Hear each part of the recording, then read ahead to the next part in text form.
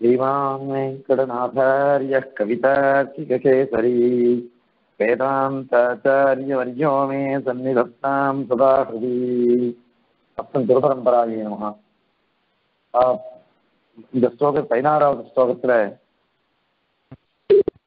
சூத்திரங்களுடைய எண்ணிக்கை அதே மாதிரி அதிகரங்களுடைய எண்ணிக்கை இவைகளை சுபாஷி சின்மயி அப்படிங்கிற ரெண்டு சப்தங்களை கொண்டு ஐநூத்தி நாற்பத்தஞ்சு சூத்திரங்களுடைய எண்ணிக்கை நூத்தி ஐம்பத்தி ஆறு அதிகரணங்களுடைய எண்ணிக்கைன்னு சாதித்தார் அதன் பிறகு பாதங்கள் இருக்கு. பதினாறு பாதங்கள். ஒவ்வொரு பாதத்திலையும் எத்தனை அதிகரணங்கள் அப்படின்னு சொல்லச்ச. முதல் அத்தியாயத்துல இந்திரியங்கள் பதினொன்னு ஊர்மிகள் அதாவது பசி தாகம் அதெல்லாம் சொல்றவங்க கஷ்டப்படுத்துறது நம்மள. பெரிய விசாரங்கள்னால வருது அந்த ஆ- அது ஆறு. அதே அதே மாதிரி திக்குகள் எட் பத்து பாம்பு எட்டு பாம்புகள். இப்படி முதல் அத்தியாயத்துக்கு பதினொன்று ஆறு பத்து எட்டு இப்படி முப்பத்தஞ்சு அதிகரணங்கள் இருக்காங்க. அப்படின்னு சொல்லிட்டு அதன் பிறகு இரண்டாவது அத்தியாயத்துல காஷ்டங்கள் காஷ்டைனாக்க ஒரு முடிவுன்ற மாதிரி. எதிர போய் இது முடிகிறது? திக்குகள்லாம் முடியுறதோ இது கிழக்கு பக்கம் முடிகிறது இது மேற்கு பக்கம் முடியும் அது மாதிரி பத்து காஷ்டைகள் அதே மாதிரி விரத மதம் பிடிச்ச யானைகள். யானைகள் அப்படின்னு சொல்லிட்டார். அது மதம் பிடிச்ச எதிரி யானைகள். அது எட்டு இருக்கு. அதே மாதிரி சப்தரிஷிகள் ஏழு. கடைசியில வந்து வசுக்கள் அஷ்ட வசுக்கள். இவா எட்டு. இப்படி எட்டு ஏழும் பதினஞ்சு பதினஞ்சு எட்டும் இருபத்தி மூணு இருபத்தி மூணு பக்கம் முப்பத்தி மூணு. ஆக முப்பத்தி மூணு முப்பத்தி அஞ்சு ரெண்டு வந்து அறுபத்தெட்டு அதிகரணங்கள் இருக்கு. அப்படின்னுட்டு அங்க சாதிச்சு முடிச்சார். அதன் பிறகு மூணாவது அத்தியாயத்துல நாலு பாதங்கள். முதல் பாதத்துல வைராக்கிய பாதம். அதுல ஆறு அதிகரணங்கள் இருக்கு அப்படின்னு சாதிச்சார். ஊர்மிகள். ஏன்னா வைராக்கியம் வரணும்னு நம்ம கஷ்டங்கள் எல்லாம் உணர்ந்து அந்த கஷ்டங்கள்ல விடுபடணும்.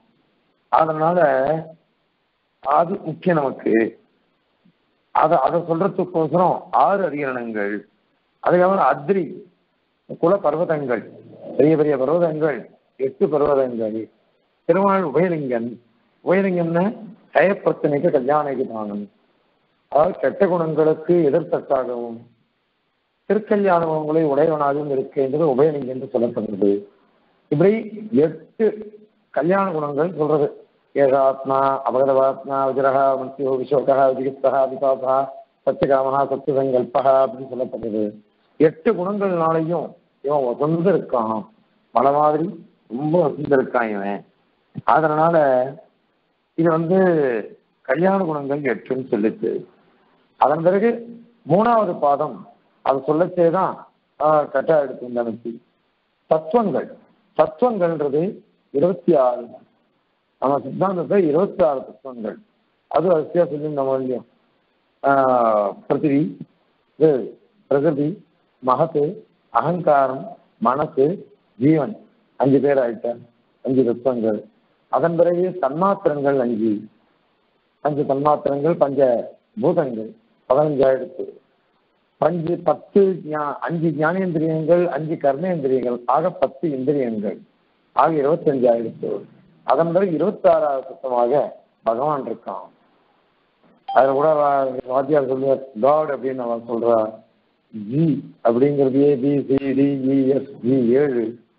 ஓ அப்படிங்கிறது அது வந்து H I J K M N O பதினஞ்சு. பதினஞ்சு ஏழும் இருபத்தி ரெண்டாச்சு அப்புறம் டிங்கிறது நாலு ஏபிசிடி இது சேர்த்து எல்லாம் சமஸ்காரம் இருபத்தி ஆறு. அந்த இருபத்தி ஆறு தத்துவங்கள் நாம் எப்படி வச்சுக்கிறோமோ அந்த மாதிரி இருபத்தி ஆறாவது தத்துவமா இருக்கிறதுனால காட் அப்படின்னு சொல்றான்னு சொல்லி எங்க மத்திய ஸ்ரீரங்கத்தில் நான் வாசிக்கிட்டு இப்படி இருபத்தாறு தத்துவங்கள் இந்த இருபத்தாறாவது தத்துவம் இருக்கே அதை தெரிஞ்சுண்டு அதை உபாசிச்சு அதை அடையணுமே அதுக்கு ஹேதுவா இருக்கக்கூடியது உபாசனங்கள். அந்த உபாசனங்கள் எல்லாம் தெரிவிக்கிறது இந்த மூணாவது பாதம் குணோபசம்மார பாதம் அந்த குணோபசம்மார பாதத்தில் இருபத்தாறு விகரணங்கள் இருக்கிறதுனால இருபத்தாறாவது தத்துவமான பரமாத்ம விஷயமான உபாசனம் சொல்லப்படுறது அப்படிங்கிறதுனால இங்க தத்துவங்கள் இருபத்தாறு அப்படின்னு படிச்சு முடிச்சார். அதுக்கப்புறம் மூணாவது அத்தியாயம் நாலாவது பாதம் அதிசக்வரி. அதிசக்வரின்னா என்ன அர்த்தம் அப்படின்னாக்கா இது வந்து ஒரு மீட்டர் சந்தஸ் ஒரு ஸ்லோகத்துக்கு நம்ம சொல்றோம் போது அனுஷ்டப் சந்தது ஆரியாவர்த்தம் வசந்த கிரகம் எத்தனையோ தெரிந்து வரும். இந்த அதிசக்வரி அப்படிங்கிற சந்தத்துல இது பதினஞ்சு அக்ஷரங்கள் இருக்கும். இந்த பதினஞ்சு அக்ஷரங்களும் சேர்ந்து ஒரு பாதம். ஒரு பாதத்துல பதினஞ்சு ஒரு க இதுல நாலு வரி இருக்குன்னாக்கா ஒரு பாதத்துல பதினஞ்சு நாலு பாதத்துல நாலு பாஞ்சு அறுபது. அந்த நம்ம மாலினி வருத்தம் அகில போன ஜென்மஸ்தேன பங்காது அப்படின்னு சொன்னா அது மாலினி வருத்தம். இந்த மாதிரி வருத்தங்கள்லையும் பதினஞ்சு அக்ஷரம் இருக்கும். அதுல அக்ஷரங்கள் மாறும். ஒவ்வொரு இதுலையும். அதாவது குரு லகு குரு லகுன்னு ஒரு தீர்க்கம் நெடில் இருக்கும் குறில் இருக்கும் அந்த மாதிரி இருக்கிறது சந்தம் ஒரு அக்ஷரம் மாறினா கூட சரி. அல்லது ஒரு அக்ஷரம் குறைஞ்சா கூட சரி. அது நம்மளுடைய ஸ்லோகம் சொல்ற சமயத்தில் ஒட்டவே ஒட்டாது நமக்கு சுக்லாம் பிரதம் திட்டம் சைதம் நெஞ்சிருந்தும் இதுல ஏதாவது ஒரு அக்ஷரத்தை எடுத்து பாருங்க. சுக்லாம் பரதம் ராவ் எடுத்துருந்தோ சுக்லாம் பதனம் அப்படின்னா வராது. ஸ்லோகம் ஒட்டாது ஸ்லோகம் ஒட்டலைன்னாக்கா அது எதி பந்தம் வந்துடும் எதியின் பேர் இருக்கு அந்த அங்கங்க முடியறது எதின்னு சொல்லுவா. ஆஹ் சுக்லாம் விஷ்ணு அப்படின்னா எதி. இந்த எதியானது உடையக்கூடாது. ஒரே மாதிரி இருக்கும். எதிகள் எதிகள் கணக்க தன் தர்மத்திலேருந்து வழிவிட்டா எப்படி அது நினைக்காதோ? எதி தர்மமே போயிட முடியும் அந்த மாதிரி ஸ்லோகத்துல எதி எதி பங்கம் வரக்கூடாது. வந்துருச்சுன்னாக்கா அந்த ஸ்லோகம் ஆஹ் இதுவா போயிடும். சரியா இருக்காது. அதே மாதிரியாக பதினஞ்சு அதிகரணங்கள் இந்த மூணாவது அத்தியாயம் நாலாவது பாதத்துல அந்த அதுக்கு பேர் என்னன்னாக்க அங்கபாதம் அப்படின்ற விஜயங்களுக்கு விஜய விஜயங்களுக்கு அங்கங்களை சொல்றது. பதினஞ்சு அதிகரணங்கிறனால அங்கங்கள் சொல்லப்படுகின்றன. அந்த அங்கங்கள்லாம் நிறைய இருக்கு. எத்தனையோ அங்கங்கள் இருக்கு. அதுல ஒரு அங்கம் தவற விட்டா கூட அந்தந்த வர்ணாசிரமத்து தர்மத்துக்கு ஏற்ற மாதிரி நிறைய அங்கங்கள் இருக்கு. ஒரு அங்கம் எப்படியானாக்கா ஒரு மீட்டர் சந்தஸ்துல ஒரு அக்ஷரம் விட்டாலும் ஸ்லோகம் ஒட்டாதோ? அந்த மாதிரி இந்த அங்கங்களை கணக்க ஏதாவது ஒன்றத்தை விட்டுட்டோம்னா கூட அந்த வித்தியைங்கிறது சித்திக்காது அதனால அந்த அங்கங்கள் அங்கங்கள் எல்லாம் சேர்ந்துதான் இந்த பிரம்ம வித்தியை அனுஷ்டிக்கணும். கர்மாக்கள் ஆசிரம தர்மங்கள் அதே மாதிரியாக சாந்தனா இருக்கணும் தாந்தனா இருக்கணும் வைராக்கியத்தோட இருக்கணும். நிறைய வரப்போகுது. மூணாவது அத்தியாயத்துல அதை பத்தி பேச போறோம். அப்போ இந்த மாதிரி அதிசக்வரி ஒரு சந்தஸ்துல எப்படியான ஒரு நியமம் இருக்கோ ஒரு அக்ஷரம் விட்டா கூட அந்த ஸ்லோகம் இதுவா போயிடணும். ஆஹ் சரியா இருக்காது. அப்படின்னு சொல்றோமோ அந்த மாதிரி ஒரு அங்கம் கூட விடக்கூடாது. எல்லாத்தையும் பார்த்து பார்த்து பார்த்து அனுப்பிக்கணும். அதனாலதான் நம்ம சித்தாந்தத்துல பக்தி யோகம் பண்றதுக்கு முடியாது. ஏன்னா பக்தியாது சக்தி பாவகா பிரபத்தி ரகிதா சுவாமி வந்து தத்துவ சிவதரசு பக்தி யோகத்துல நமக்கு வந்து சக்தி இல்லை ஞானம் இல்லை. அத்தனையும் அனுஷ்டிக்கிறது நமக்கு ஞானம் தான் இல்லாததுனால நாம வந்து இதை அனுஷ்டிக்க முடியாது அப்படின்லாம் சாதிச்சிருக்காரு சுவாமி. அதனாலேயே நம்ம சரணாகதி எடுத்துட்டோம் சரணாகதின்றது ரொம்ப சுலபம்னு எல்லாரும் நினைச்சிட்டு இருக்காரு ரொம்ப சுலபம் இல்லை மகாவிஸ்வாசம் வேணும். இந்த மகாவிஸ்வாசம் வரத்துக்கு ஆச்சாரியால் தான் சொல்லி கொடுத்து நம்மளுக்கு எல்லாத்தையும் போதிப்பார். இப்படி போதிக்கிறதுனால இது நமக்கு முக்கியம். அதனால இந்த பக்தி இந்த பக்தி யோகம் ரொம்ப சிரமம் அதனால அதிசக்தி நிறைய நியமங்கள் கட்டுப்பாடுகள் அவைகள்லாம் இருந்தாதான் நம்மளால அனுஷ்டிக்க முடியும். அது அதிசக்தி சந்தஸ் மாதிரி இருக்கும்ன்றதுனால அங்க பதினஞ்சு அக்ஷரங்கள் இங்க பதினஞ்சு அதிகாரங்கள் இந்த நிய- நியதியோட இருக்கணும். அப்படின்ட்டு சுவாமி தேசியனுடைய உள்ள வாழ்த்தது. அதுக்கப்புறம் இதுவரையும் தான் மூணு அத்தியாயத்தில் சொல்லிட்டார். மூணாவது அத்தியாயத்துல ஆறு அதிகரணம் முதல் பாகத்துல எட்டு அதிகரணங்கள் ரெண்டாவது பாகத்துல மூணாவது பாகத்துல இருபத்தாறு அதிகரணங்கள் நாலாவது பாகத்துல பதினஞ்சு. இருபத்தாறு பதினஞ்சும் நாற்பத்தொன்னு நாற்பத்தொன்னு எட்டும் நாற்பத்தி ஒன்பது நாற்பத்தி ஒன்பது ஆறும் ஐம்பத்தஞ்சு ஆறு எட்டாயிரம் பதினாறு ஆமா ஐம்பத்தஞ்சு அதிகரணங்கள். முதல் ரெண்டு இதுல அறுபத்தி எட்டு அதிகரணங்கள் இதுல ஐம்பத்தஞ்சு அதிகரணங்கள். அப்போ எவ்வளோ ஆச்சு? ஐம்பத்தஞ்சு எட்டும் அறுபத்தி மூணு நூத்தி இருபத்தி மூணு அதிகரணங்கள் ஆச்சு. அப்படின்ட்டு இந்த கணக்கு சொல்லியிருக்காரு சுவாமி.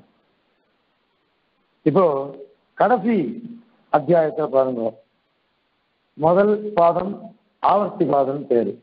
அதுல பதினோரு அதிகரணங்கள். அதனால அக்ஷயி. ரெண்டாவது பாதத்திலையும் பதினோரு அதிகரணங்கள்.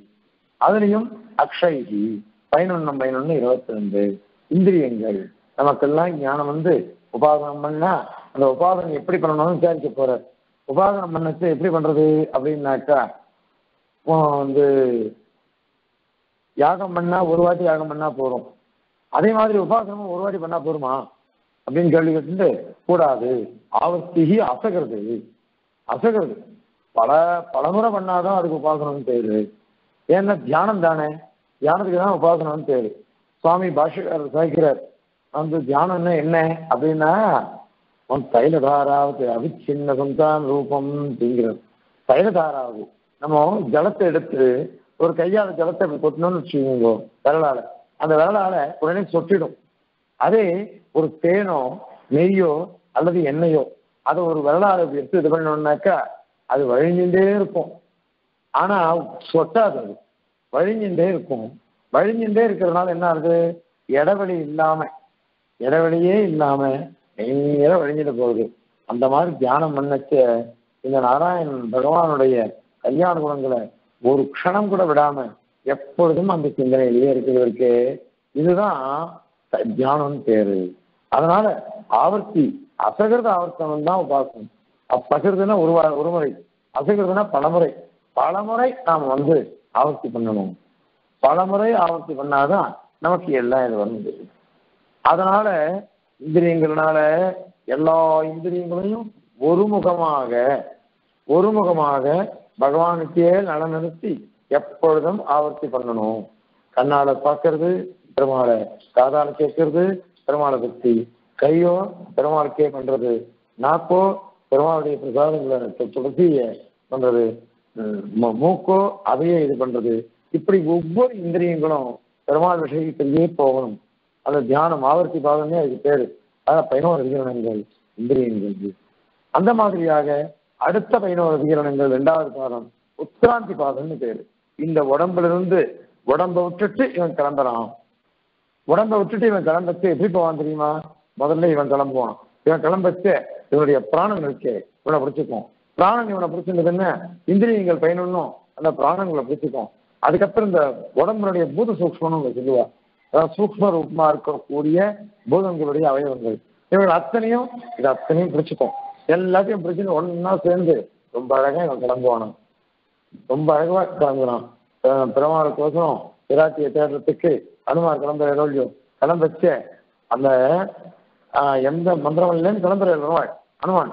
திருவடி கிளம்புற சமயத்தில் அவர் பேர்ல அத்தனை புஷ்பங்கள் கொடிகள் அது இது எல்லாம் மாட்டிண்டு போகச்ச அற்புத தரிசனகா அப்படிங்கிறார் வால்மீகி. ரொம்ப அழகா இருக்கான் பார்க்கறதுக்கு. ரொம்ப அழகா போறான் அந்த மாதிரி இந்த ஜீவனம் சந்தோஷமாக சந்தோஷமாக. மிருத்தியும் கிருதகிருத்தியா கிருதகிருத்தியா பிரதீக்ஷந்தே மிருத்யும் பிரியமிவ அதிதி பிரியமான ஒரு அதிதி வந்தாக்கா எப்படி சந்தோஷப்படுவானோ ஒருத்தன்.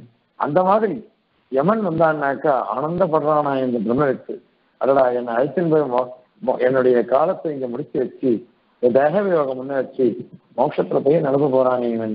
எவ்வளவு எனக்கு ஆனந்தம் அப்படின்னு சந்தோஷம் பண்ணணுமா அதனால இவன் கிளம்பச்சு ஆனந்தமாக தன்னுடைய தாங்கிளம்புறான் தன்னுடைய முக்கியப்பிராணம் எழுக்கிறான் முக்கியப்பிராணம் என்ன பண்றது? இந்திரியங்களை எழுக்கிறது இந்திரியங்கள் எல்லாம் சேர்ந்த பூத சூக்ஷ்மங்கள் சரீரத்தினுடைய சூக்ஷமான பூதங்க அம்சங்களை இருக்கிறது அத்தனையும் சேர்த்து அழகா கலந்து போகிறான்.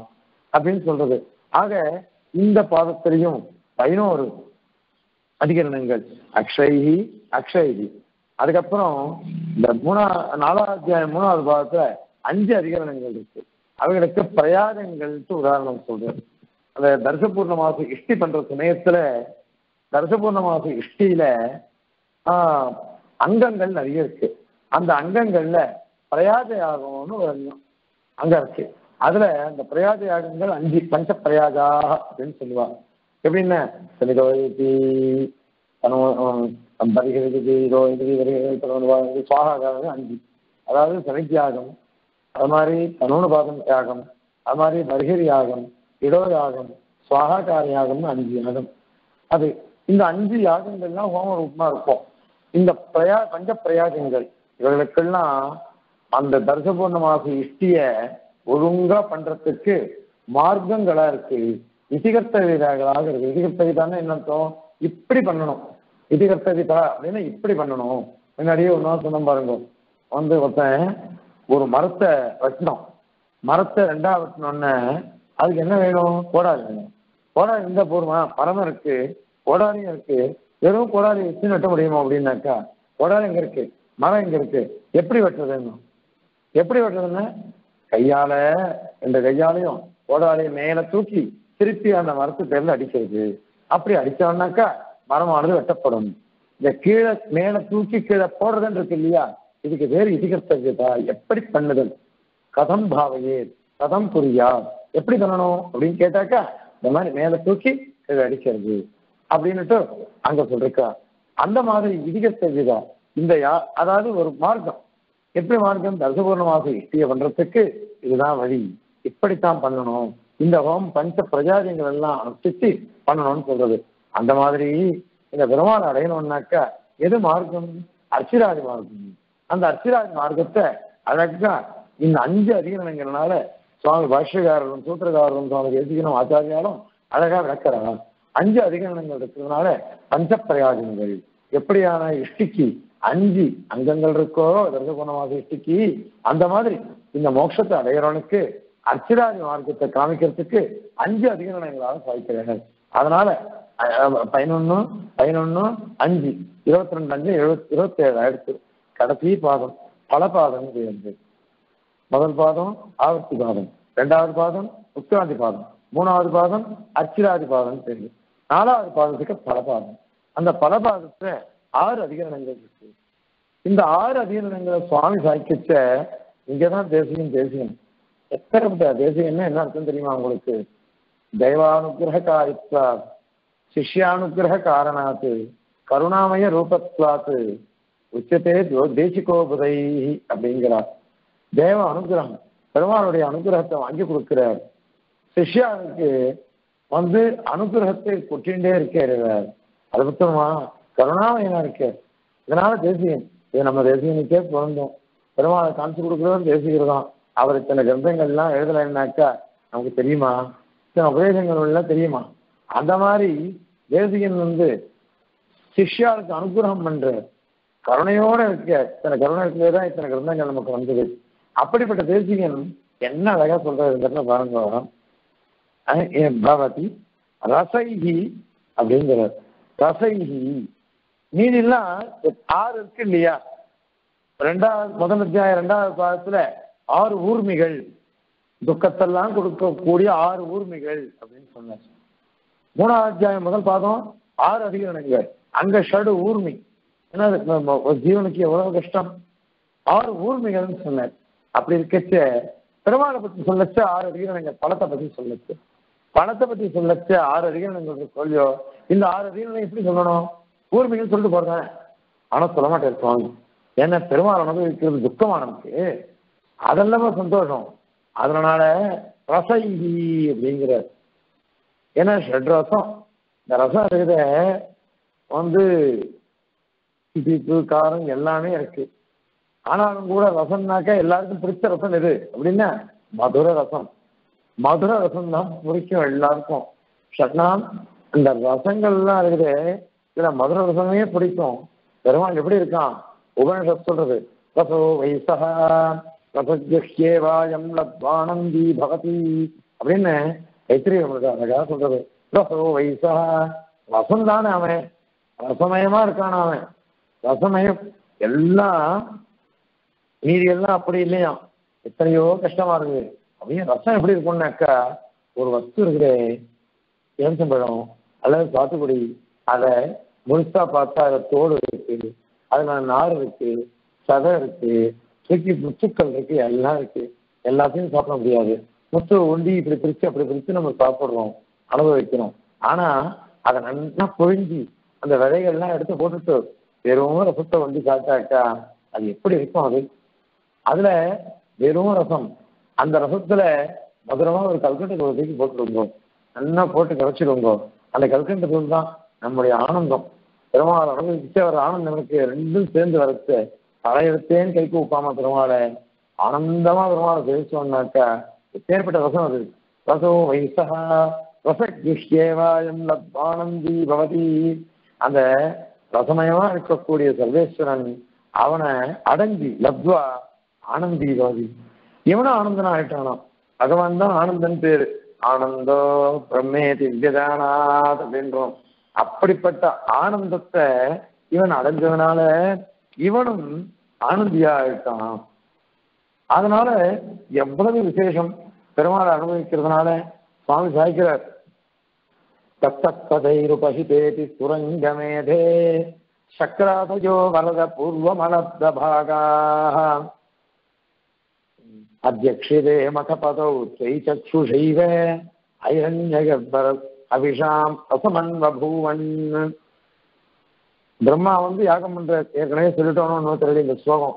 பிரம்மா யாகம் பண்ற யாகம் பண்ற சமயத்துல எல்லா தேவதைகளும் வந்துட்டாலாம் நமக்கு அவிழ் பாகம் கிடைக்க போறது அவிர் பாகம் கிடைக்க போறதுன்னு வந்துட்டாலாம் அந்த சமயத்துல நம்ம பெருமாள் என்ன பண்ண அந்த ஹவிஷ அத்தனையும் தான் வாங்கி சாப்பிட்டுட்டார். எல்லாத்தையும் வாங்கி சாப்பிட்டுட்டா இவாளுக்கு ரொம்ப கஷ்டப்படும் போய் எடுத்தோம். என்ன கஷ்டம்னாக்கா ஐயோ நமக்கு கிடைக்க வேண்டிய பாகத்தெல்லாம் இவர் சாப்பிட்டு நமக்கு ஒன்றும் கிடைக்கலையேன்னு.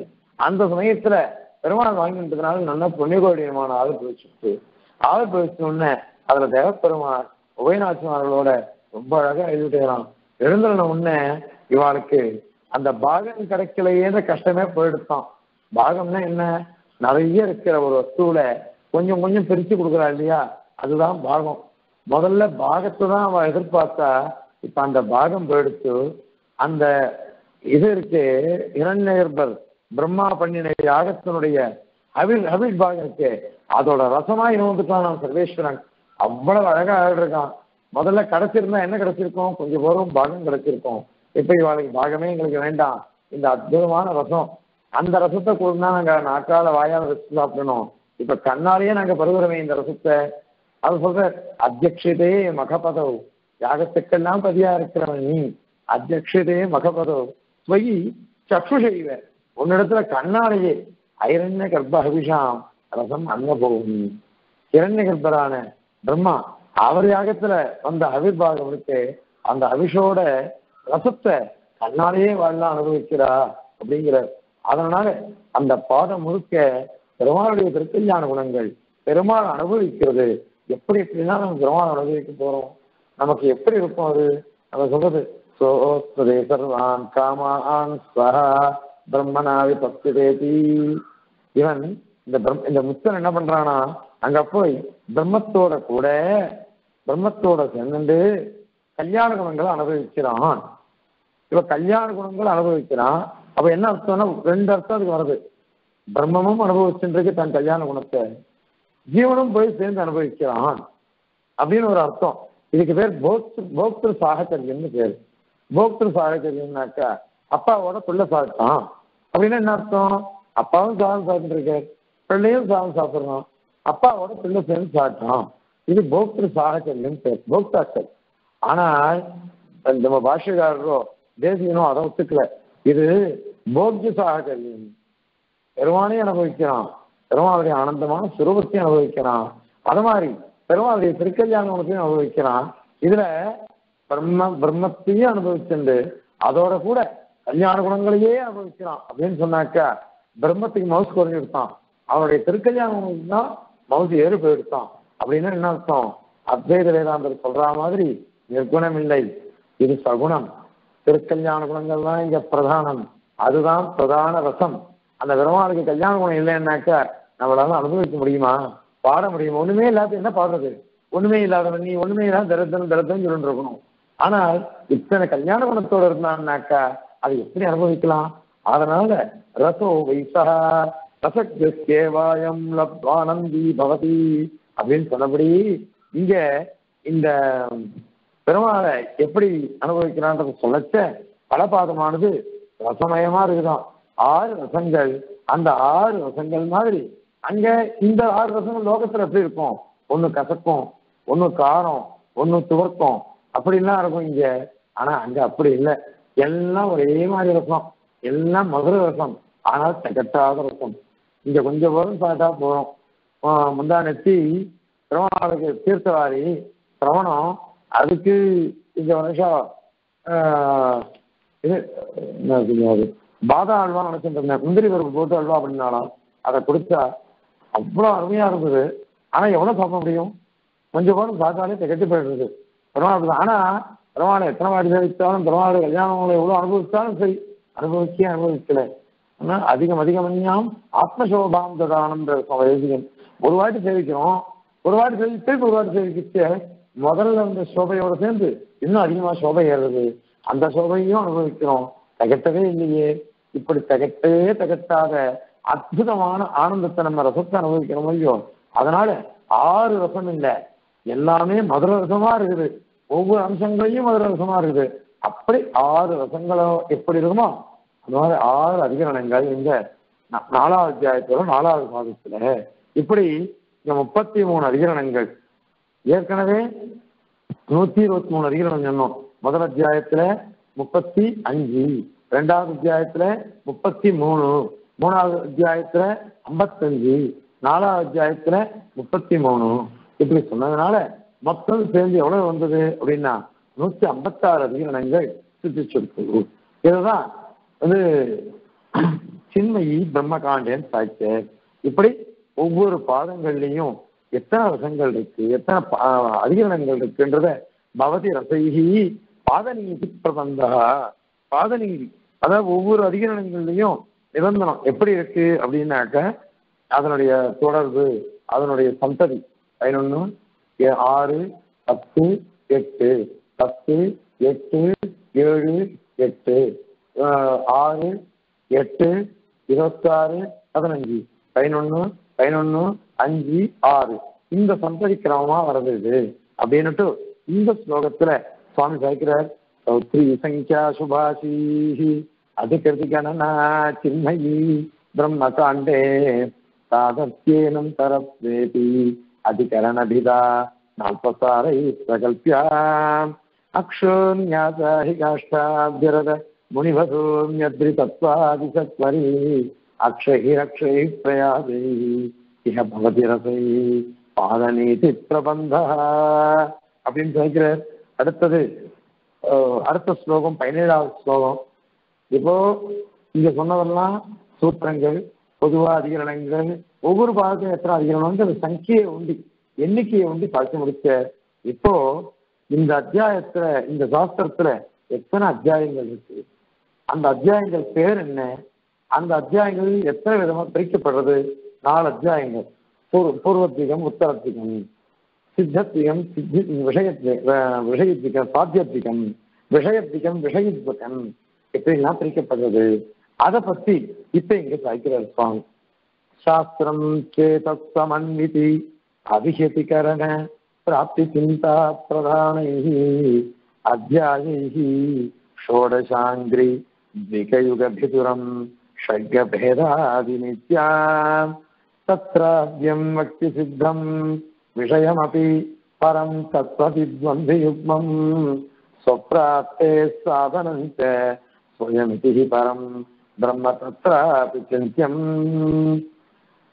ஒண்ணும் இல்லை இந்த சாஸ்திரங்கிறது நாலு அத்தியாயத்தை உடையதா இருக்கு என்னென்ன நாலு அத்தியாயங்கள் அது சாய்க்கிறது சமன்விதி அதிகதி கரண பிராப்தி அப்படின்னு நாலு அத்தியாயங்கள் சமன்விதி சமன்விதின்னா என்ன அர்த்தம் அப்படின்னாக்கா சமன்வயம் பண்றப்படுது சமன்வயப்படுத்தப்படுது என்ன சமன்வயம் எல்லாம் சேர்க்கப்படுறது என்ன சேர்க்கிறது?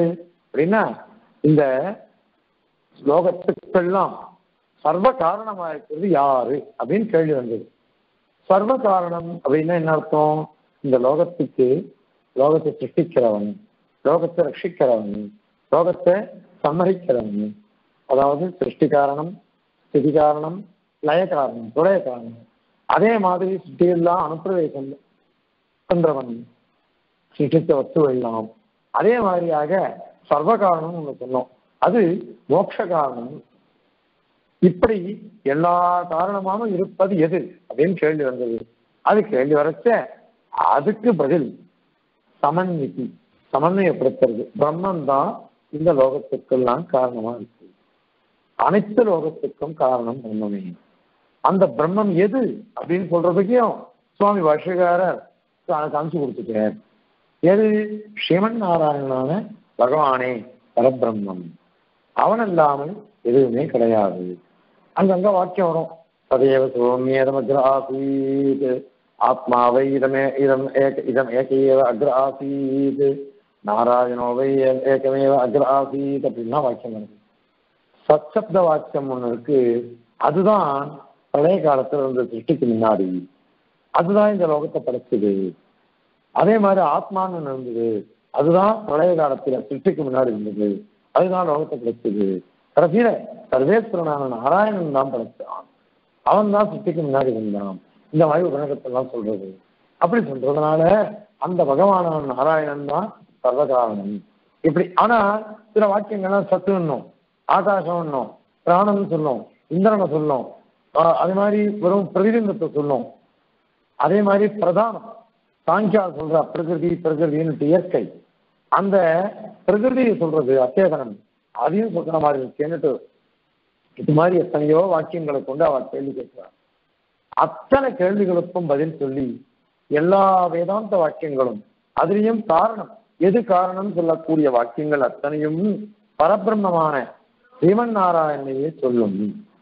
இதுதான் சமன்விதி சமன்மயாத்தியானி சுவாமி சங்கரேக்கிற வரதராஜ சாஸ்திர சாமானிய புத்தி ஜனகாஸ்த சதா அதிசப்தாக தத்வாந்தர பிரமகிருதஸ்த சிவாதிவாச நாராயணே துவைகரீஷ வகந்தியனன்யம் அன்வர்த்தவர்த்தி பரிகல்பிதம் ஐககஞ்சம் இவரே சத்து. சாமானிய புத்தி ஜனகாஸ்து சதாதி சப்தாக சத்து ஆத்மா பிரம்மம். இப்படிலாம் சொன்னாக்கா இதெல்லாம் சாதாரண சப்தங்கள். இந்த சப்தங்கள்லாம் எத்தனை வேணாலும் அர்த்தம் பண்ணிக்கலாம். சத்துனாக்கா ஒரு அச்சேதனம் வந்து அது கூட தான் சத்து. ஒரு சேதனம் நானும் சத்து தான் நீங்களும் சத்து தான் பரமாத்மாவும் சத்து தான் ஆனால் எதை சொல்றது சத் சத்து அப்படின்றதுனால பெரிய சந்தேகம் வருது. அதே மாதிரி தத்வாந்தர பிரமகதஸ்ய சிவ அதிவாச்ச சிவனே தத்துவம் சில பேர் சொல்றா. ஏன்னா உபநிடத்து வாக்கியத்தில் அப்படி இருக்கு. அதே மாதிரி ருத்ரனே இது பிரம்மா சதுர்முக பிரம்மான் இருக்கு. சில இடத்துல இந்திரன் இருக்கு சில இடத்துல சக்தியை சொல்றது நாம என்ன சொல்றோம்? காயத்ரி காயத்ரின்னு சொல்றோம். காயத்ரி தேவி யாரு? அப்படின்னா அதை பொம்பளையா இல்லாம சுட்டிச்சுட்டான் காயத்ரி தேவின்னு பொம்பளாட்டியாங்க அது சப்தம். சப்தஸ்வரூபம் அது. சப்தஸ்வரூபம் பெண்பால் அமைஞ்சிட்டு இருக்கு பெண்பால் அமைஞ்சிட்டவே அதை போய் அந்த பெருமாளை போய் காயத்ரி பொம்பளைன்னு சொல்ல முடியுமா? வரதராஜன் தெரிஞ்சவாளுக்கு தெரியும். முதல் ஸ்லோகம். ஜலத சிகரி சீம்னா சொப்னவான் பத்மஜோனே சுரகசவன வேத்யாம் சியாமலோகவியவாக கலச ஜலதி கன்யா வல்லவி கல்பசாகி கடையது குசலன்னா கோபி காருண்ய ராசி கோபி காருண்ய ராசி ஆ, ராசி சமுத்திரம் அதே கருணையே சுரூபமா இருக்கக்கூடியவ ஒரு பிரசித்தமான ஒரு வஸ்து. அது இந்த அத்திகிரி மலையில இருக்கு. அது அனைத்தையும் நமக்கு கொடுக்கட்டும்னு சொன்னேன். ஆனா அந்த கடைசியில ஐம்பதாவது ஸ்லோகம். யா தன்மான துளசி சுவாம் அபிக்யாம் மாதங்காத்ரோ மரகதரி கிருஷ்ணதி மானசேனா. போகேஸ்வரிய பிரேசகரை காப்பி லக்ஷ்மீ கடாட்சை பூயஸ்யாமா புவன ஜனனி தேவதா சன்னிதத்தாம் புவன ஜனனின்னு சொல்லிட்டார். பெருமாள் வந்து புவனஜனனி லோகத்தன்னா சுற்றிக்க கூடியது ஏன் அப்படின்னா அப்படி ஏன் சொல்லணும்னா இல்லை அப்பாவுக்கு ஆசை இருக்கும். வெளில காமிக்க மாட்டேன். ஆனா மொச்சல் இருப்பேன். அதே தாயார்ந்தவளுக்கு என்ன எப்படி எவ்வளவு நம்ம தப்பு பண்ணாலும் சரி நம்மளை ரஷிச்சிருவாரு நம்மளை காப்பாத்திருவாளே. அதனால பெருமானையே நான் அம்மாவா பார்க்கிறேன். ஒரு ஸ்திரீ தத்துவம் வந்துருச்சுன்னா மார்தவம் வந்துருவேன் அதனால போன இறங்கியும் சொன்னாரு. அந்த மாதிரி ஒரே சப்தத்தை ஒரே சப்தம் வந்து ஒரே பரமாத்மா ஒரே பொருள். அதை நபும்சலிங்கமோ ஸ்ரீலிங்கமோ புல்லிங்கமோ எதிர போட்டாலும் சரி பரமாத்மா கிட்ட தான் வரணும். தத்வாந்தர பிரமகிருத சிவாதிவாசா. இவையெல்லாம் இந்த அத்தனை சப்தங்கள் சத்து ஆத்மா ஆகாசம் பிராணம் இது மாதிரி எத்தனை சப்தங்கள் இருக்கோ சிவன் சதுர்முகன் இந்திரன் சக்தி எந்த பதத்தை சொன்னாலும் சரி. அவை எல்லாத்தையும் எங்க தெரியுமா அன்வயிக்கும் நாராயணே தொய்கரீச சவசம் அனன்யம் அனன்யம் அன்மத்து இன்னொன்னு போய் அன்னைப்பே அன்னிக்காது உங்ககிட்ட தான் எல்லாம் அனுப்பிக்கும் எல்லாம் உங்ககிட்ட தான் சத்து. சர்வாத்தனா சத்து. எப்போதும் சத்தா இருக்கக்கூடியவன். நாராயணனே பகவானே. ஏன்னா சத்து என்ன நடந்தது ஒரே மாதிரியா இருத்தல். அதே மீதி எல்லாருக்கும் நமக்கெல்லாம் எப்படி இருக்கு? இப்ப நாம பிறந்துட்டோம். இருக்கோம். நமக்கு பிரளயம்னு ஒண்ணு வந்ததுன்னாக்கா நாம எல்லாம் சூக்ஷமா போயிடுவோம். சரியா இருக்காது எதுவுமே நமக்கு இல்லாம போயிடும். அப்ப நாம ஒண்ணும் இல்லாம போயிடுவோமே. அதனால எல்லா தேவதைகளும் எல்லாம் அப்படி போயிடும். ஆனா இவனுக்கு ஒண்டிதான் சத்தம் இருக்கும் அதே மாதிரி ஆகாசம். ஆகாசம்னா என்ன அர்த்தம்? பாஷிகார சாய்க்கிற சமந்தா காக்கதே அதாவது எல்லா இடத்துலையும் அவித்து பிரகாசிச்சுருக்குது எல்லாரையும் பிரகாசிக்க இருக்கும் அது பரமாத்மாவுக்கு ஒண்டிதான் முடியும்.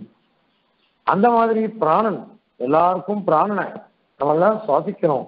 நமக்கெல்லாம் பிராணனை கொடுத்துண்டு நம்மளை காப்பாற்றிட்டு இருக்கிறவன் அவன் தான் அதனால சர்வ பிராணன ஹேதுத்வாது சர்வ பிராண ஹேதுவா அவன் இருக்கிறதுனால அவனுக்கு பிராணன்னு பேரு. அது மாதிரி ஆத்மான்னு அவனுக்கு பேரு. ஏன்னா ஆப் ஆத்மனோ தீபி ஆத்மா. எல்லா வியாபிச்சரிக்கிறது. அந்த எல்லா வியாபிச்சு யாராலையும் அளக்க முடியாம இருக்கிறதுன்றது அவன்தான். ஆகவே இந்த ஜெகத்காரணம் இதுதான் அப்படின்னு அறிவிட்டு சொல்லணும். அது சொல்றதுக்கு இந்த முதல் அத்தியாயம் இருக்கு. உலகத்துக்குள்ள இருக்கக்கூடிய எந்தெந்த காரண வாக்கியங்கள் எது காரணம் சொல்ற வாக்கியங்கள் இருக்கோ அதை எந்த சப்தம் சொன்னாலும் அது பரமாத்மா தான் அன்வயிக்கும் அப்படிங்கிறத சொல்றதுக்கோசரம் இந்த முதல் அத்தியாயத்துல முதல் அத்தியாயமான சமன்வய அத்தியாயம் சமன்மிதி அப்படின்னு சொல்றா.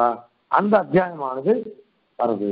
சமன்வய அத்தியாயம் செய்யறது அதெல்லாம் நிறைய பிரிச்சு என்ன சொல்ல போறா? அடுத்த ஸ்லோகத்துல அதெல்லாம் சாய்க்க போற? அதை பார்க்கலாம். அடுத்தது அதிகதி.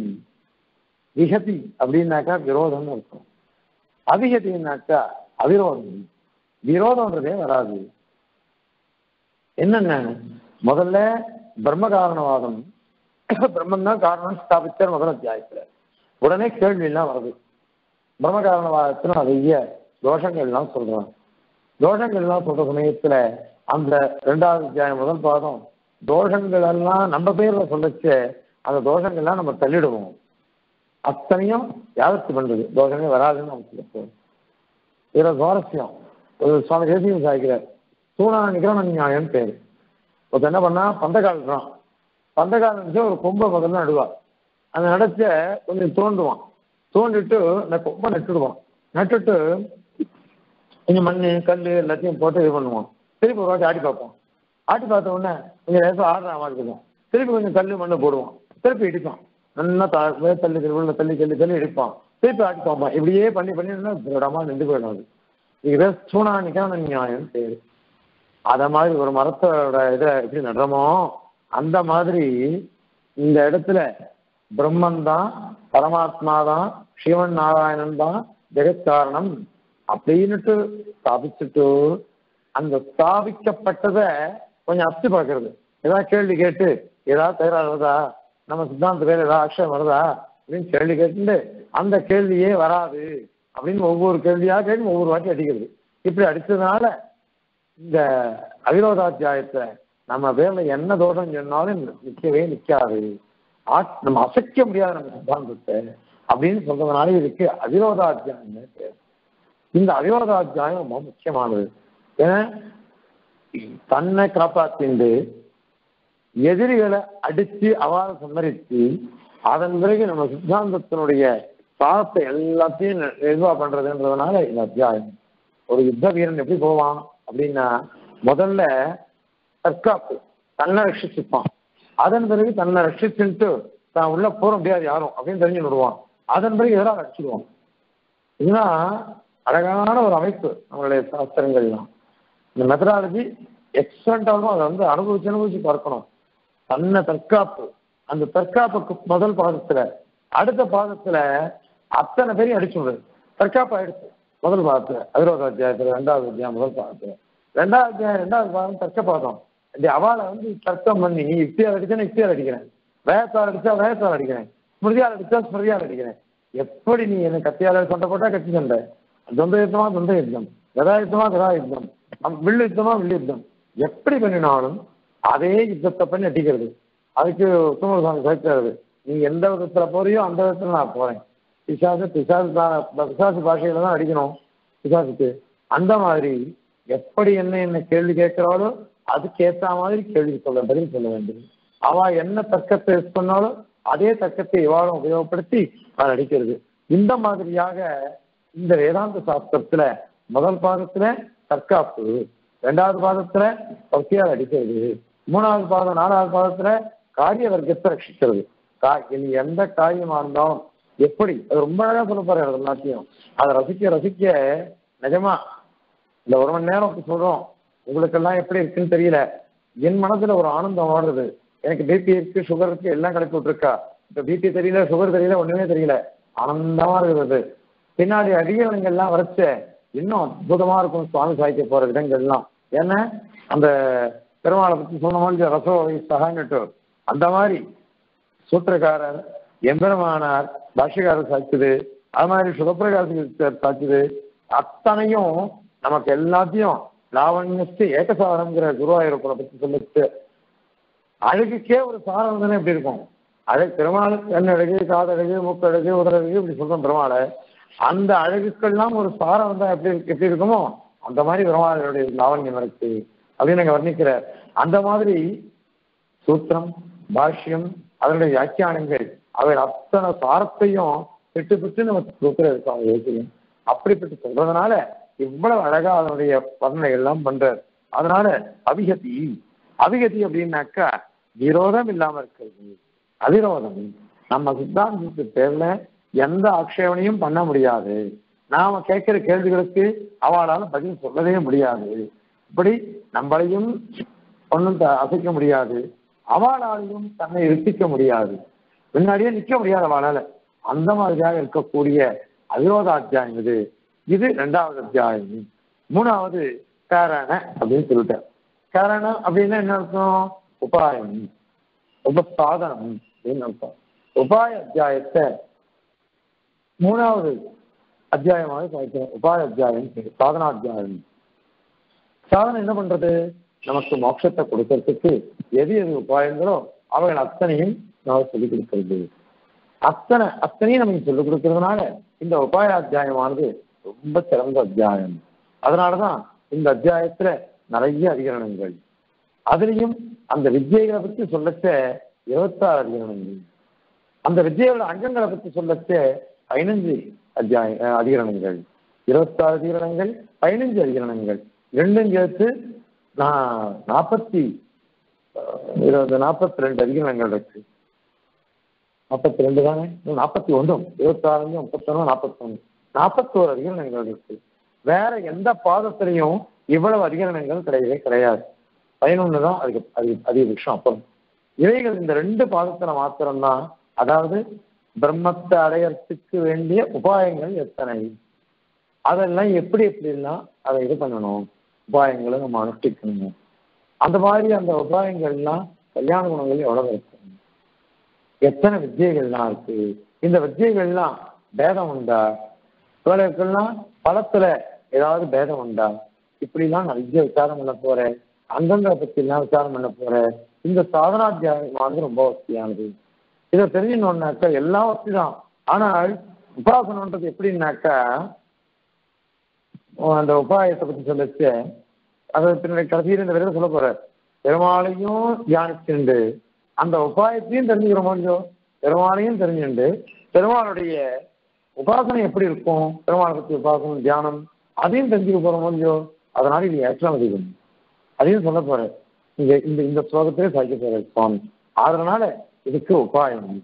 முதல் பாதம் இந்த உபாயத்துக்கு நம்ம போனோம்னா நம்முடைய தோஷங்களை தெரிஞ்சுக்கணும் அது ரெண்டாவது பாதத்துல இந்த உபாயத்தை நாம அனுஷ்டிக்கணும்னாக்கா நம்ம அடைய வேண்டிய பெருமாளுடைய திருக்கல்யாணங்களை தெரிஞ்சுக்கணும். அவனுடைய ஏற்றத்தை தெரிஞ்சுக்கணும். அதே மாதிரி மூணாவது பாதம் அந்த அடையத்துக்கு உபாயமா இருக்கக்கூடிய உபாசனங்களை தெரிஞ்சுக்கணும். நாலாவது பாதம் உபாசனங்கள்ல என்னென்ன அங்கங்கள்லாம் வரும் அது தெரிஞ்சுக்கணும். இப்படி நாலு விஷயங்களை இது சொல்றதுனால இதுக்கு சாதனாத்தியாயம். காரணம் உபகரணமா இருக்கிறது உபாயமா இருக்கிறது அதை பற்றி சொல்றதுனால இது இந்த மூணாவது அத்தியாயத்தினுடைய நாலு பாதங்களுடைய அர்த்தங்கள். மூணாவது அத்தியாயம் அர்த்தம் அது. கடைசியில பிராப்தி. பிராப்தின்னா என்னது? அப்படின்னாக்கா அடைதல் அப்படின்னு அர்த்தம். அடைதல்னா என்ன? பிரம்மத்தை அடையிறது. பிரம்மனுடைய பிரம்மத்துடைய கல்யாண குணமும் அடையிறது. அது எங்க அடையிறது? அங்க போய் ஒரு இடத்துல அடையுது பரமபதத்துக்கு அதையும் சொல்ல போறேன் சாராவில்லை சுவாமி.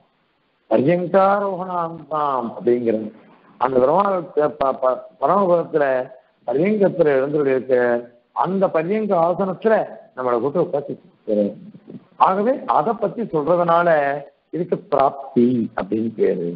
அந்த பிராப்தியில நாலு பாதங்கள் இருக்கும் ஏற்கனவே சொன்ன முடியோ ஆவர்த்தி பாதி பாதம் உத்திராந்தி பாதம் அர்த்திராதி பாதம் கடைசியில பல பாதம் இந்த பகவானை அடையிறது இருக்குது அதை பத்தி இது சொல்றதுனால இது பலாத்தியாயம் எப்படி? நாலு அத்தியாயங்களை தன்னகத்தே உடையது இந்த சாஸ்திரம்.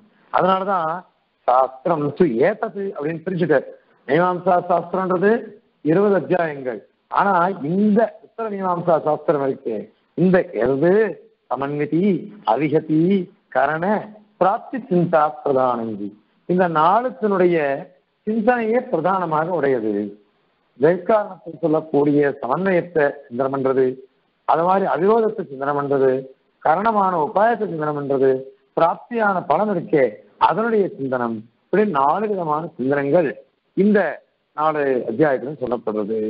அதனால பிரதானி அத்தியாயி இந்த நாலு அத்தியாயங்கள்னால இது இந்த சாஸ்திரம் ஷோடசாங்கிரி. அங்கிரின்னா பாதம்னு அர்த்தம். சுதங்கிரி யுகலம் அப்படின்ற மாதிரி அங்கிரினா பாதம். எத்தனை பாதம் சோடச? பதினாறு பாதங்கள். ஒரு அத்தியாயத்துக்கு நாலு பாதம்னாக்கா நாலு அத்தியாயத்துக்கு பதினாறு பாதங்கள் தருவது பதினாறு பாதங்களை உடையது. நாலு அத்தியாயங்களை உடையது. அது மட்டுமா? ஜிக யுக திகம் திகம் அப்படிங்கிற ஜிகம்னா என்ன அர்த்தம்? ரெண்டு அத்தியாயத்தை உடையது ஒரு திகம் இப்போ நாலு அத்தியாயம் இருக்கிறதுனால முன்னாடி ரெண்டு பின்னாடி ரெண்டு. முதல்ல ரெண்டு அத்தியாயங்களை சேர்ந்த பூர்வ திகம். அடுத்தது ரெண்டு திகம். ரெண்டு அத்தியாயங்கள் சேர்ந்து உத்தர திகம். இந்த பூர்வ திகம்ன்றது என்னது அப்படின்னா அதை சொல்ல போற திக யுக திகம் அந்த ரெண்டு திகங்களாக ஏதம் பின்னமாக தெரிகிறது வேதிக்கப்பட்டது அது எப்படின்னாக்கா சக்க பேதாதி நித்தியம் பூர்வீகவம்சியில பன்னெண்டு அத்தியாயங்கள் இருக்கு. ஆறு ஆறா பிரிக்கல முதல் ஆறு பூர்வஹிருத்தம் பூர்வ பூர்வஹிருத்தத்துக்கு என்ன பேரு? அப்படின்னா உபதேச சக்தம் அடுத்த சக்தத்துக்கு அஜய சக்தம் பேரு. உபதேச சித்தம்னாக்கா உபதேசிக்கிறது. இந்த இந்த யாகம். வேறமே சொல்லும்? இது யாகம். இந்த யாகத்துக்கு இது திரவியம். இது தேவதை. இவைகள் அங்கங்கள். இப்படி இப்படி பண்ணணும். அத்தனையும் சொல்றதுன்றது உபதேசமா இருக்கும். ஆனால் அதிதேய சக்தத்துல அங்க வெறும் தேவதை தெரியும். திரவியம் தெரியும். ஆனால் அங்கங்கள் எதுவுமே தெரியாது. அவைகள்லாம் என்ன பண்ணணும்? முன்னாடி உபதேசத்துல வந்து இல்லையோ அவைகளை எடுத்துட்டு அங்கேருந்து அவருக்கு அதிதேசம் பண்ணணும். இந்த யாகத்துக்கு அந்த யாகத்துல இருந்து எடுத்துக்கணும் அங்கங்களை. அந்த மாதிரி நிரூபணம் பண்றது அதிதேசம் செய்யுது. எப்படி? வந்து ஷட்க பேதாதி நித்யா.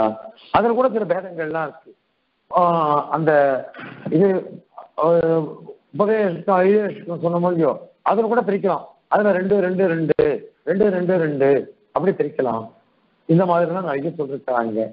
அந்த பேதங்கள் மாதிரி இங்கேயும் சித்தத்திகம் சாத்தியத்திகம் பூர்வத்திகம் உத்தரத்திகம். அதுல சித்தத்திகம் சாத்தியத்திகம். அதே மாதிரி விஷயத்திகம் விஷயத்திகம். அப்படின்லாம் பிரிக்கணும். அதெல்லாம் சொல்ல போறேன் இப்ப திருப்பி. பாருங்க. தத்தாத்தியம் பக்தி சித்தம் விஷயம். தத்திர ஆத்தியம் முதல் ரெண்டு அத்தியாயம் இருக்கு இல்லையா? அது சித்தத்தை பத்தி சொல்லும்.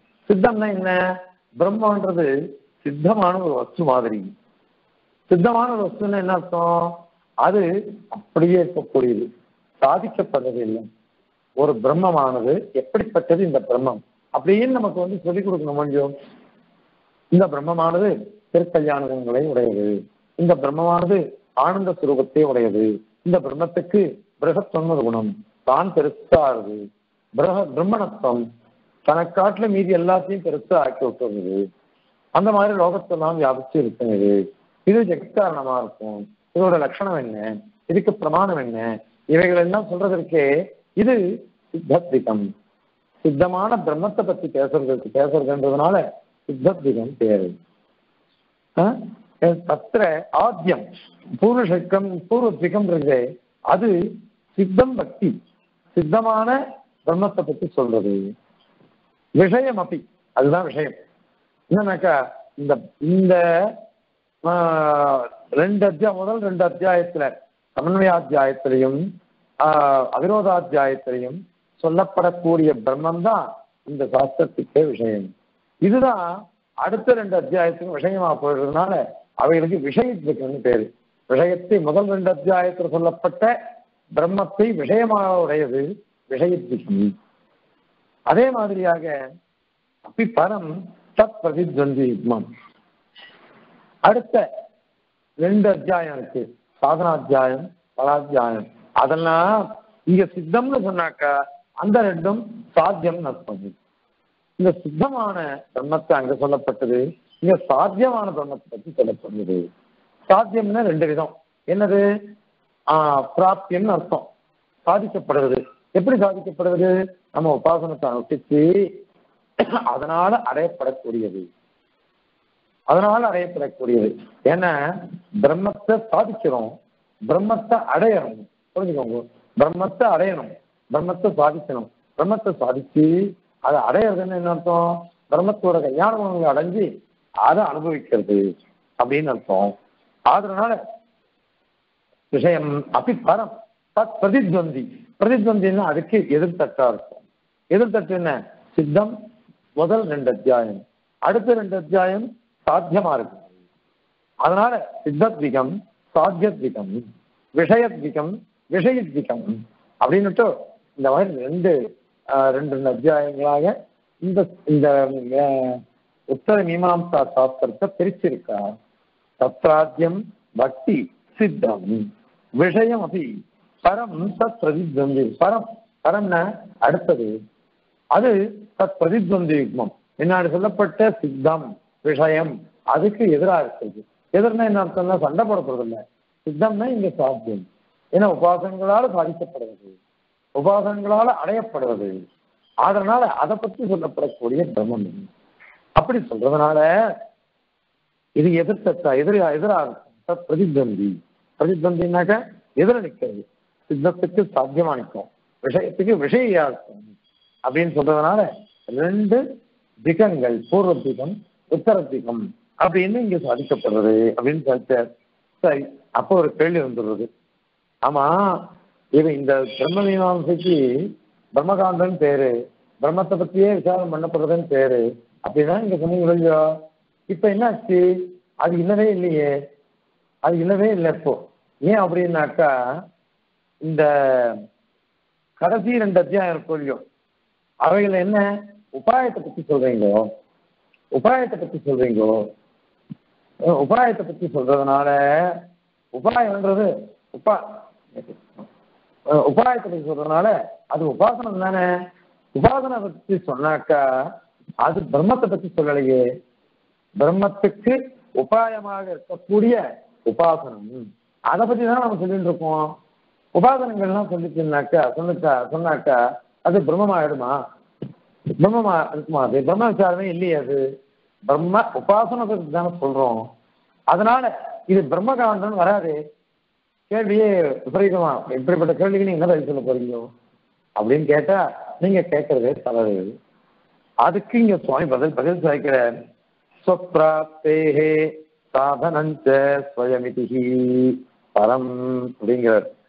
ஸ்வப்ராப்தேஹே. தன்னை அடையறதுக்கு தான் தான் சாதனம். சொப்ராப்தே சாதனன்ட்டு ஸ்வயமிதி தானே சாதனம். அதான் உங்களா எல்லாருக்கும் தெரிஞ்ச விஷயம். சித்தோபாயம் சாத்தியோபாயம். சித்தோபாயம்னு என்ன அர்த்தம்? பிரம்மன் தான். இது வந்து ரொம்ப சூக்ஷமான விஷயம். ஆ? இது பின்னாடி சொல்ல போற. உங்களாம் தெரிஞ்ச விஷயம் தான் ஆனோ பெரிய இந்த மாதிரி சூக்ஷமான விஷயம்ன்றேன். அதாவது நாம உபாசனம் அனுஷ்டிக்கிறோம். சரணாகதி அனுஷ்டிக்கிறோம். அதனால உபாயத்தை அனுஷ்டிச்சிடுறோம் உபாயத்தை பிரமாகிருபையில ஆச்சாரியால் அனுகிரகத்தான் நம்ம முடிச்சிடுறோம். முடிச்சுட்டாக்க அதனால மோட்சம் நிச்சயமா?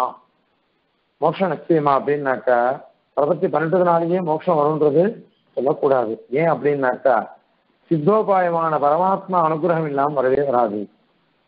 அதனால சித்தோபாயத்து திருவுள்ளம் தான் அவன் நினைச்சான்னா நம்ம தடுத்துடலாம். நீ உபாசனம்னா நான் உபாயத்தை அனுப்பிச்சுட்டாக்க நான் தவணும்னு ஏதாவது நியமா? அப்படின்னு அவன் கேட்டான்னா ஒன்றும் பண்ண முடியாது. அதனால இந்த இடத்துல வந்து சித்தோபாயம் திருவுள்ளம் என்னவோ அதுதான் பிரதானம். அதனால அவன் அவன் வந்து ஆ, நீ அத்தியத்த பிரியம் ஞானினம் லப்வா லப்வா ந புனः ஆவர்த்தயிஷ்யதி அப்படிங்கிற பாஷ்ய ஏன்னா அவன் காத்துன்னு இருக்கான். நம்ம எப்போ வருவோம் எப்போ வருவோம்னு அஞ்சலின் யாச்சமானகா ஒரு அஞ்சலி பண்ணிவிடேன் உனக்கு நான் மோட்சத்தை கொடுத்துடுறேனே அப்படின்னு அவன் இறங்கி இறங்கி வரான். அவன் எதிர்பார்க்கிறான். ஒரு ஏதோ ஒரு வியாஜம். ஒரு வியாஜம். ஒரு தராதி பண்ணிடும் கையை கூப்பிடும் எல்லாம் பண்ணிடும் வெள்ள பெருமாளையங்கார் போனார். பெருமாள்கிட்ட போனார். எனக்கு வந்து மோஷம் கொடு அப்படின்னு கேட்டார். பெருமாள் கேட்டார் உபாசனை பண்ணியா? இல்லையே. பிரபத்தி பண்ணையா? இல்லையே. நாம சங்கீர்த்தனம் கிடையாது. கோயிலுக்கு? இல்ல. எதுவுமே இல்லாம எப்படி என்ன கேட்ப? அப்படின்னு கேட்கிறார் பெருமாள் இன்னும் கோபம் வந்துருச்சு. என் பிள்ளை பெருமாள் எங்க இருக்கு. என்ன இப்படி கேட்டுவிட்ட ஒரு ததிபாண்டன் என்ன பண்ணா? கோபியாசிரியர் சரணாதி பண்ணால ததிபாண்டன் சரணாதி பண்ணானா? அத்தனை வகைகளுக்கெல்லாம் கொடுத்துருக்க. அயோத்தியில் வாழும் சராச்சரம் முற்றவுன்ற வாழ்வார் அவளுக்குலாம் கொடுத்துச்ச நான் என்ன குறைஞ்சு போயிட்டேன் அவளை காட்டணும் உன்னை வந்து கேட்கறேன் அதே உனக்கு பெருசு இல்லையா? அப்படின்னு கேட்ட கேள்விக்கு பயந்து போயிட்டாராம் பெருமாள். அன்னைக்கு படுத்த பெரிய பெருமாள் இன்ன வரையும் எழுந்திருக்கியா ரங்கநாதன். அந்த மாதிரியாக சுக சுக இவரை கேட்டுவிட்டார். ஆகவே பெருமாளுக்கு அவ்வளவு ஆசை. இவெல்லாம் என்னோட சேர்ந்து வாணும் ஒரு வியாஜம். வியாஜ மாத்திராவளம்பின்னு அப்புறம் அதிகம் சாராவில் இல்லை அத்தியாயத்துல ஒரு வியாஜத்தை எதிர்பார்க்கிறார் பெருமாள் ஒரு வியாஜத்தை எனக்கு கொடுங்க. நீங்க வியாஜத்தை கொடுத்துட்டாக்க நான் வந்து உங்களுக்கு எல்லாம் பண்ணிடுவேன் வியாஜத்தை ஒன்று பண்ணிடுங்க உங்களுக்கு நான் எல்லாம் பண்ணிடுவேன்ட்டு அப்படிப்பட்டவன் நம்மளுக்கு அனுப்புவானா? அதனால சுத்தோபாயமாக்கக்கூடிய பரமாத்மா முக்கியம். அதனால சொப்ராப்தே சாதனித்த ஸ்வயம். அதுலயே ஒரு சுவாரஸ்யம். சரி அப்படிதான். உபாசனமே தனியா இருந்து போட்டுமே. என்ன அதனால கெட்டு போய் எடுத்து உபாசனம்னா என்ன அர்த்தம்? பிரம்மத்தை நினைக்கிறது தானே உபாசனம்? அந்த பிரம்மத்தினுடைய கல்யாண குணங்களை தான் அனுசந்திக்கணும். யாகமும் சொர்க்கமும் வேற வேற. யாகத்துல பண்ணிச்ச சொர்க்கத்துக்கோசன யாகம் சொர்க்கத்து யாகம் சொல்லல. முதல்ல சங்கல்பம் பண்ணிட்டு வரணும். பண்ற யாகம் வேற. இது ஏதோ தேவதைகளுக்கு எல்லாம் ஓம் பண்ணிட்டு அத்தை பண்ணிட்டு பண்ணிட்டு கடைசியில எம்மா முடிஞ்ச அடைய போறான். அதனால சொர்க்கஸ்வரூபம் அங்க வரல. சொர்க்க சுரூபத்தை வச்சு நான் யாகம் பண்ணல. ஆனால் இங்க இந்த உபாசனம் வரைக்கே பகவானுடைய கல்யாண குணங்கள் அனுசந்தானம் பண்றதுதான் உபாசனம் இங்க. பாத்துக்கோங்க கல்யாண குணங்களுடைய அனுசந்தானம் தான். அப்ப பிரம்மத்தினுடைய கல்யாண குணம் தான் அனுசந்தானம் பண்றான் இவன். அப்படி பண்றதுனால பிரம்ம உபாசனங்கள்லாம் இருக்கு. அவைகளும் பிரம்மம் தானே அதே பிரம்மத்தை தான் முதல்ல எந்த பிரம்மத்தை லட்சணத்தோடையும் பிரமாணத்தோடையும் தெரிஞ்சிருந்தானோ முதல் ரெண்டு அத்தியாயத்தினால அடுத்த ரெண்டு அத்தியாயத்தினால அந்த பிரம்மன் தான் கல்யாண குணங்களுக்குள்ள அந்த பிரம்மன் தான் இங்க உபாசிக்கப்படுகிறது அப்படின்னு தெரிஞ்சுக்கிறான் அதே மாதிரி அந்த கல்யாண குணங்களுக்குள்ள பிரம்மத்தை தான் இவன் அங்க போய் அடைய போறான் மோட்சத்துல. அதனால முதல்ல சொன்னதுதான் இங்கேயும் சொல்லப்படுறது? அங்க சாதிக்கப்பட்டது.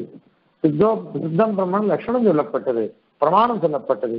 இங்கேயோ சொல்லப்பட்ட பிரம்மத்தினுடைய கல்யாண குணங்கள் அந்த கல்யாண குணங்களோட கூடின உபாசனங்கள் அவைகளை எப்படி அனுசந்திக்கணும் அந்த மாதிரி எல்லாம் இங்க விசாரம் பண்ணப்படுறது. அப்படி சொல்லப்படுறதுனால இதுல என்ன விரோதம் இருக்கு? ஒண்ணுமே இல்லையே. பிரம்மம் தான் எல்லா இடத்துலையும் விசாரிக்கப்படுகிறது. ஆகவே பிரம்மத்தை காட்டிலும் வஸ்து எதுவுமே கிடையாது. சொப்ராப்தே சாதனந்த ஸ்வயமிதி பரம் பிரம்ம தத்ராப்பி சிந்தியம். எல்லாருக்கும் பிரம்மன் தான் இங்க சிந்திக்கப்படுறது. அதனால இது வந்து நாலு அத்தியாயம். ஒவ்வொரு பாதத்திலையும் ஒவ்வொரு அதிகரணத்திலையும். ரெண்டாவது அத்தியாயத்துல நாலாம் பாதம் மூணாம் பாதத்துலாம் ஆகாசம் எங்க இருந்து உற்பத்தி ஆகுது. அப்ப ஆகாசத்தை உபச்சாரம் பண்றவன்னா கிடையாது. ஆகாசத்தோட உற்பத்தி ஸ்தானம் இது பிரம்மம். அப்புறம் சொல்ல போனா வந்து மூணாவது அத்தியாயம் ரெண்டாவது பாதத்தை விசாரம் பண்ண போறோம். நம்ம சொப்ன சொப்னத்துல எங்க இருப்போம்? யார் சிருஷ்டி பண்றா? அதே மாதிரி தூங்குச்சே எங்க தூங்குறோம்? இப்ப இதெல்லாம் எதுக்குன்னா தூங்குச்சே. பெருமானுடைய திருவடி வாசல் தான் அவன் தூங்கிட்டு இருக்கான். இப்ப அதனால என்னாச்சு? அவன் வந்து சுத்த இது அஹ், சுத்த சுசுப்தி ஸ்தானம் அது. அதாவது சுசுப்திக்கு ஆதாரமா இருக்கான் அவன் தான் நம்ம தூங்குற சமயத்துல நம்மள ஆதாரமா காப்பாத்து நம்மள ஆதாரமா இருந்துட்டு நம்மள ரஷிக்க போறான். அப்படின்லாம் சொல்ல போற பின்னாடி அதனால இந்த மாதிரி ஒவ்வொரு அதிகாரங்களையும் ஒவ்வொரு கல்யாண உனக்கு சாய்க்க போற பின்னாடி சொல்ல போற சத்குணான் உத்குணாதி. ஒரு அதிகாரம் சொன்னாருனாக்கா உடனே அதுலேருந்து ஒரு கல்யாணம் உணர்ந்தோம் வந்துடும் அந்த மாதிரி ஒரு திருக்கல்யாணத்தை சாதிக்கிறதுனால எல்லா அதிகாரங்களையும் இந்த பிரம்மத்தினுடைய விசாரம் தான் நடக்கிறதுன்றதுனால எந்த கேள்வியும் கிடையாது. நீங்க என்ன கேள்வி கேட்டாலும் அதுக்கு இதுதான் சமாதானம். இந்த சமாதானத்தை யாராலும் அளிக்க முடியாது. சுவாமி அதற்காக இங்க முடிக்கிறார். பாருங்க.